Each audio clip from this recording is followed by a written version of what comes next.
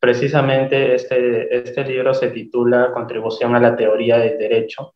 Mm, las obras de Norberto Bobbio en realidad no se constituyen, este, se constituyen, mejor dicho, en muchos ensayos y en pocos libros. Este, y cuando nosotros hablamos de libros, pues este, nosotros hacemos referencias a, a obras orgánicas o, digamos que a tratados de filosofía ya eh, eh, plenamente establecidos, ¿no? Pero Bobbio, digamos que Bobbio consideraba que quien, quien escribe un tratado, un manual de filosofía o quien escribe un libro eh, orgánico de determinado tema tiene el deber de la plenitud. Y él está más para, para el análisis que para la síntesis por lo que digamos que los únicos libros orgánicos o tratados, de alguna manera u otra, van a estar presentes solo y únicamente en los 10 primeros años de su vida académica, que mm, está entre los años de 1934 a 1942. ¿no? Libros posteriores a este periodo eh, van, a, van a ser eh, no obras orgánicas, no libros orgánicos, sino más que todo la recopilación de ensayos como lo es este, lo que nosotros venimos a comentar ahora, que es este, el libro de la eh, contribución a la teoría del derecho. ¿sí? Contribución a la teoría del derecho, que es un libro bastante importante para eh, eh, quien quiera profundizar en, en, la obra de Bobbio, y es un libro totalmente recomendable, ¿no? este, este libro en realidad se divide en dos partes. La, primera, la primera parte está abocada a, a, los estudios de metodología jurídica y la segunda está abocada más al estudio ya del derecho en sí, de la teoría del derecho. Entonces, antes, pero antes, antes de eso, antes de del desarrollo de los ensayos, porque hay que repetirlo, esta es una recopilación de ensayos de Norberto Bobbio, antes de estos eh, ensayos, por los cuales está compuesto este libro, eh, el, profesor Alfonso eh, Ruiz Miguel hace un estudio preliminar en donde se narra gran parte de la vida académica de Norberto Bobbio y, nos muestra cómo es que el estudio de Bobbio se divide en un estudio filosófico, jurídico, político-cultural, metodológico e histórico. Como bien lo decía el profesor Fernando Barrientos del Monte, que nos acompañó en la ponencia pasada, este, eh, estudiar a Bobbio es, es, es, complejo porque Bobbio se, se, se, distinguió por estudiar distintas eh, ramas, distintas áreas académicas. Pero, en fin, por lo que em, digamos que en lo que respecta a Bobbio, siempre ha dado preferencia más a la, a la, al análisis y plasmados en ensayos, antes que las obras orgánicas, ¿no? Y cuando nos mencionan que él da primacía a la crítica sobre el sistema y también nosotros vamos a ver que él va a narrar los, los inicios, o se va a narrar en este, en este libro los inicios de los estudios de Bobbio, que eran este, mayormente filosóficos. Y en realidad el cómo es que intenta, digamos que, descentralizar la cultura italiana a través de lo que este, se llama en este libro como el nuevo iluminismo. Además, este, se nos menciona que eh, va a nacer en el año 1950 y va a alcanzar su apogeo por esos años, la denominada eh, Escuela de Turín, ¿no? una escuela de Turín eh, bastante importante para ser estudiado, para comprender el, el, el, pensamiento de Bobbio. A su vez, este, este libro también nos muestra la concepción que tuvo Bobbio en cuanto al positivismo jurídico, ¿no? caracterizándolo más que todo como la doctrina que reduce la validez, la, la justicia a la validez. Una norma es este, justa cuando es válida.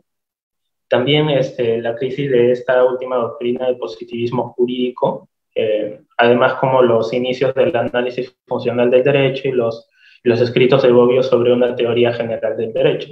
Entonces, ya entrando de lleno a la, a la primera parte, que es este, o que inicia con el apartado sobre la filosofía del derecho. En este apartado sobre la filosofía del derecho, Bobbio nos menciona eh, puntos importantes como la distinción entre el concepto de em, eh, filosofía del derecho y la teoría general del derecho. Y es que ahí Bobbio nos menciona que son diferentes porque eh, se considera que su enseñanza conjunta sería una contaminación de ambos campos, de ambos conceptos.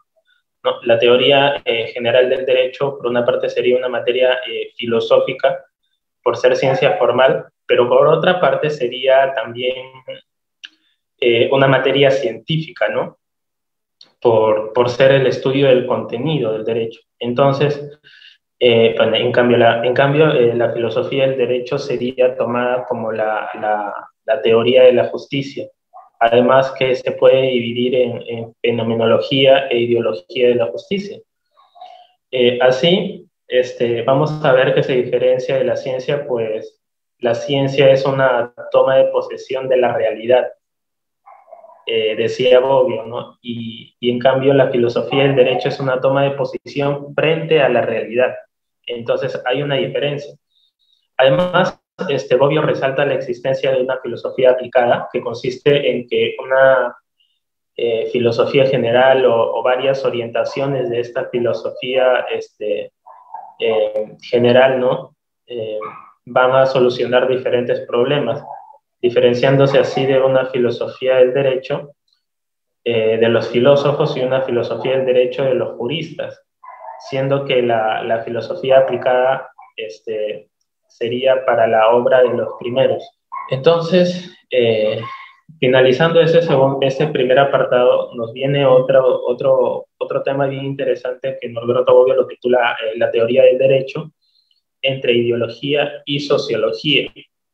Y además, en este segundo apartado inicia con una distinción entre la teoría formal del derecho y la concepción legalista de justicia, eh, puesto que Norberto Bobbio decía literalmente que la primera, eh, es decir, eh, la distinción entre la teoría formal del derecho, pues era una teoría eh, científica, ¿no? En cuanto establece un cierto punto de vista y un cierto método para conocer el fenómeno jurídico.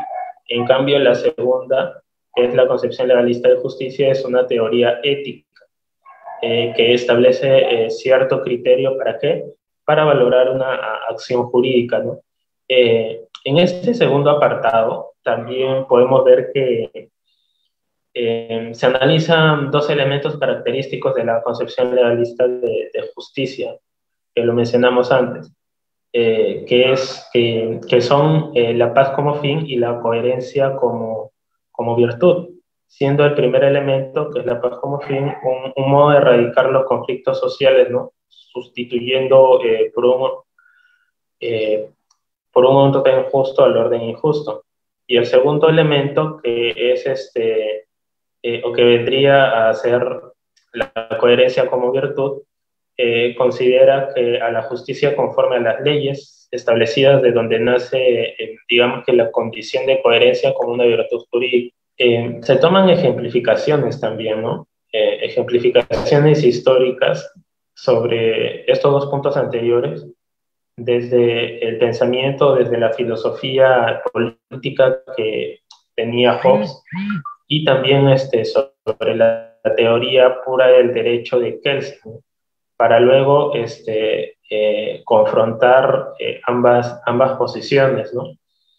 Y también es, es necesario resaltar, eh, es de resaltar que esta confrontación que hace Bobbio entre estas dos posiciones eh, de esta confrontación, Bobbio concluye que tanto Hobbes como Kelsen eh, se encuentran, eh, bueno, en estas dos posiciones o en esta confrontación se encuentra una concepción relativista y, y también este, Bobbio encuentra una, una concepción escéptica de los valores morales.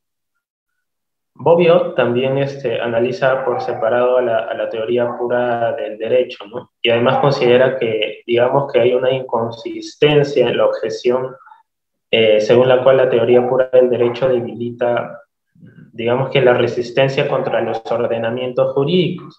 Asimismo, mm, apunta que los jus naturalistas caen en, en confusión eh, sobre el juicio sobre la justicia y sobre el juicio de la validez de una norma, ¿no? Em, y, y, diferencia a la, digamos que a la teoría pura del derecho de una concepción legalista de justicia, dado que este, los toma como diferentes, pues Bobbio considera que la primera, eh, la teoría pura del derecho, es un método de considerar el derecho, pero este, no es una teoría de la justicia. en pocas palabras, Bobbio decía que la teoría pura del derecho no es una teoría de justicia, sino es un método de considerar este, al derecho como desde un determinado punto de vista. En el tercer apartado de esta primera parte, eh, que se denomina textualmente la ciencia del derecho y el papel del, del, jurista, eh, se analiza la relación que existe entre la ciencia del derecho y el análisis del lenguaje. Este, además, se analiza el ser y el deber ser de la ciencia jurídica. Eh, respecto a lo primero, que este, es el análisis entre la ciencia del derecho y el análisis del lenguaje, se delimita el problema de la ciencia jurídica como un análisis del lenguaje, o sea, el problema de la cientificidad de la jurisprudencia, en otras palabras, por lo que eh, se concluye que el jurista eh, hace ciencia sin saberlo, incluso cuando piensa que, que, los científicos son los demás y que él es un simple dogmático o un técnico, encontrando este, la ciencia en la misma jurisprudencia. Respecto a, lo segundo, que este, es el ser y el deber ser de la, de la ciencia jurídica, eh, se, vemos claramente que se analizan dos de los significados eh, tradicionales de la ciencia normativa y también el significado kelseniano que se le da. Se analizan este, en este apartado también tres significados de jurisprudencia como, como ciencia normativa. Y acá podemos ver que estos tres significados se resumen en la determinación, en la revisión y en la aplicación y sistematización de las normas, eh, lo que se llama el, el solen descriptivo. Además, también se analizan los problemas de la neutralidad científica y de la ciencia del derecho como una eh, fuente de normas jurídicas. Y respecto a, lo tercero, o sea, lo que acabamos de mencionar, eh, se menciona o se analiza el derecho respecto a las sociedades industriales avanzadas, ¿no? Eh, las concepciones opuestas que, que tiene la, la, función del jurista, según sea un sistema jurídico cerrado o un sistema jurídico abierto, ¿no? La concepción también de la, de la sociedad misma y la concepción del derecho como un sistema autónomo, autónomo o dependiente, ¿no? Se hace ese análisis, esa distinción. Además, eh, se hace una comparación entre la función del jurista y la función del sociólogo, que este, tendrían a ser una, unas funciones eh, distintas. Finalmente, este, en el cuarto eh, apartado, que se denomina metodología estructural y metodología funcional, se estudia la estructura y función de la teoría del derecho, pero, que de, pero de Kelsen. Entonces, se, hace un análisis también funcional del derecho.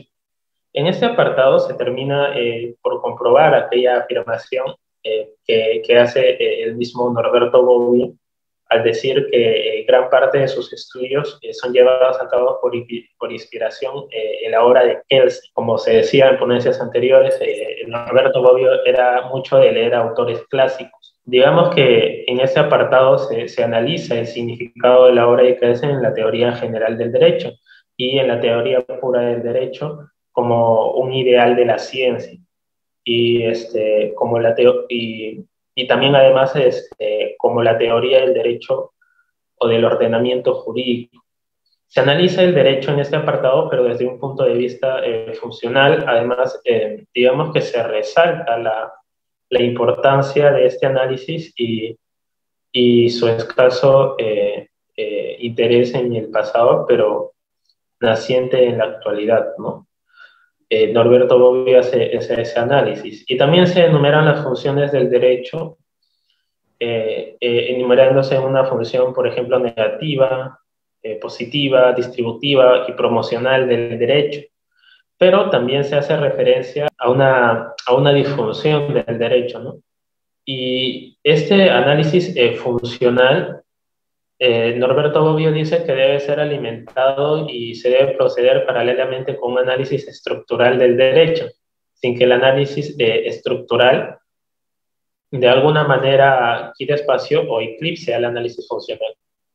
Ahora, respecto a a la segunda parte del libro, titulada este, expresamente como Estudios de Teoría del Derecho, ya adentrándonos a esa materia, Bobbio realiza distintos, eh, o analiza, mejor dicho, distintos temas sobre la norma jurídica, el ordenamiento jurídico y sobre eh, eh, una teoría funcional del derecho. En su primer apartado sobre la, sobre, la, sobre la norma jurídica, titulándose tal cual sobre la norma jurídica, primero se atribuye una imprecisión e insuficiencia a las normas jurídicas, ¿no? porque esto debido a qué? Debido a su gran generalidad y abstracción, decía, este, o se decía en este apartado de este libro. Además, se enumeran este, distintos criterios para distinguir o para la distinción eh, si es que determinados imperativos jurídicos este, son aplicables. Eh, estos tres este, criterios son el, el sujeto activo, el sujeto pasivo y el objeto.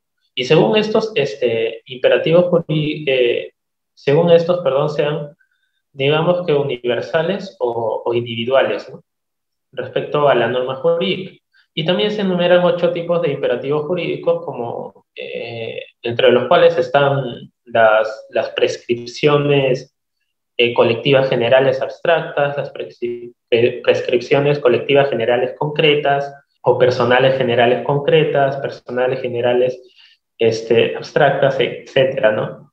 Hay un este, gran número de, de, tipologías o de, o de, tipos de imperativos jurídicos que enumera Norberto Bobbio en este, en este apartado. Además, eh, también se, se, explica cómo es que los, los presuntos eh, caracteres, digamos que formales de una norma jurídica, eh, revelan la, la asunción de valores subyacentes ¿no? a los requisitos que este, pueda tener una colectividad o una generalidad o una abstracción de los imperativos jurídicos. Se habla también este, del principio de legitimidad y este, se hace una distinción de ese principio de legitimidad con el principio de legalidad, como tal vez ya se ha mencionado antes. Además, este, se hace eh, eh, un análisis de, las consecuencias de esta distinción entre, legitimidad, perdón, entre legitimidad y entre legalidad. Eh, estos términos este, que a menudo son, utilizados como iguales, legitimidad y legalidad, en realidad este, no lo son. Su diferencia estriba en, que, en lo siguiente, ¿no? Se estriba en los, en los siguientes enunciados, decía Bobby en este libro. Eh, primero, que el sujeto tiene derecho a realizar algo. Eso es legitimidad. ¿sí? El sujeto tiene derecho a realizarlo. Este, tiene derecho a realizarlo, perdón. Y el sujeto, el segundo, este, el segundo enunciado, el sujeto, que el sujeto que tiene derecho a realizarlo, lo hace dentro de los límites preestablecidos esto ya no va a ser legitimidad si no se convierte en legalidad. Además, se habla de, normas eh, primarias y de normas secundarias. ¿sí? Y en el segundo apartado sobre, este, sobre este, eh, eh, esta segunda parte, sobre ya la teoría del derecho, este segundo apartado se denomina sobre el ordenamiento jurídico. ¿Sí? Sobre el ordenamiento jurídico y se hace un breve análisis en realidad del derecho y, la fuerza, entre derecho y la fuerza, eh, enumerándose, eh, digamos que las teorías que van en pro y en contra de la coacción, así como los argumentos en contra y a favor de la teoría del derecho como una regulación de la fuerza. O sea, en resumen, se habla del derecho eh, como un ordenamiento coactivo con dos este, precisiones. Pero este, también se habla de la de la, se hablan de las antinomias y de los criterios por los cuales estas eh, se pueden resolver. El criterio cronológico, el criterio jerárquico y el criterio de la especialidad. Y se habla eh, también del paso del poder al derecho y del derecho al poder.